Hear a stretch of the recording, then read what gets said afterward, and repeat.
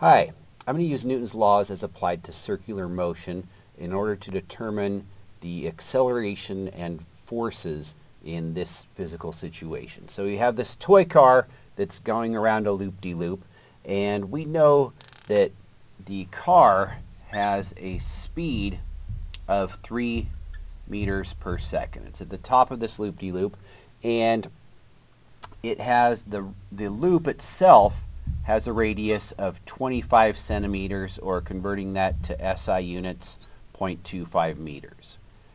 And we know that the mass of the toy car is equal to 130 grams or again converting to SI units of kilograms, uh, 0.130 kilograms. Okay, so based on this data, again, I'm going to calculate the acceleration and the forces on this uh, this toy car. Okay, so the we as usual start with a free body diagram uh, when we're using Newton's laws. So this car has a mass. It, we, it's implicit that this occurs on or near the surface of the Earth, so it has a weight force. So weight force due to the Earth on the car. And it's on a track that will exert a normal force on it. It could also exert a friction force, but uh, we're going to assume that you know there's no engine here or brakes, so we're not going to worry about friction forces. So there's a normal force directed perpendicular to the surface. Normal force exerted by the track on the car. And I actually don't know in advance how big to draw it. Uh, as it turns out, it, uh, of course I did the work in advance, it's going to be bigger. So a normal force from the track on the car. Okay, now it's tempting to try to get some sort of upward force or maybe a velocity to the side or anything, but uh, really these are the, the two by far the biggest forces on, on the car. This is it.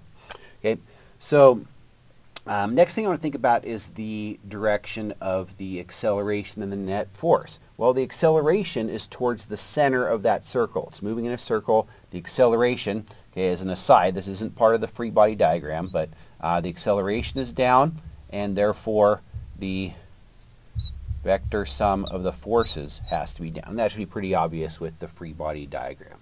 Um, again, this, this is a little bit counter to our physical intuition, which suggests that there has to be something holding it up, but there, but there really isn't.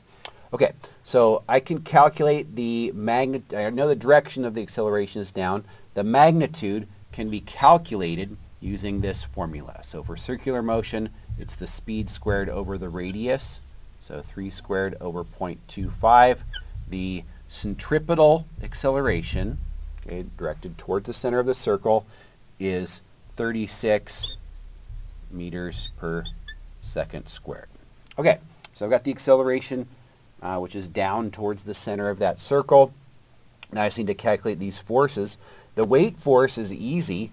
Uh, just do W equals mg so W is 0.13 times 9.8 and I throw that into my calculator and it tells me that it's 1.27 newtons. Okay, down. Okay, so I'm two-thirds of the way there. I got the acceleration, I've got the weight, which I calculated directly, and last thing is to calculate this normal force. So in this situation, everything is pointing down. Normal force down towards the center of the circle, weight force down towards the center, acceleration, net force, everything, all these vectors are down. So I'm going to have towards the center of the circle be the positive direction. I mean, you often will have down as negative, but uh, I'm going to have the down towards the center of that circle be in the positive direction. And so uh, the summation of the centripetal forces will be the mass times the centripetal acceleration. And then I have a normal force directed towards the center, so which I've called positive. Weight force towards the center, also positive, equals ma. And then I just need to solve for the normal force. So normal would be ma minus w. And we just need to, to throw in the numbers in order to get the normal force. So the normal force will be a mass of 0.13 times the acceleration, which I calculated earlier is 36, and minus the weight force of 1.27. And I throw those things into my calculator, and it tells me the normal force is 3.41 newtons. Okay, and of course it's directed uh, down. Okay, that's it. So I've got the acceleration, uh, I calculated the weight force, and I calculated the normal force based on uh, this information for a toy car going around the loop-de-loop. -loop. Okay, thanks for watching.